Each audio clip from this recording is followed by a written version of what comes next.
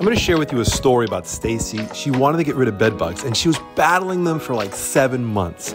The challenge was she used everything and she told us that I've been spraying everywhere, I've been steaming, I've been doing everything and they keep on coming back. We said, "Look, relax. What you're going to need to do is use this. It's a residual bug killer, Green Bean Buddy."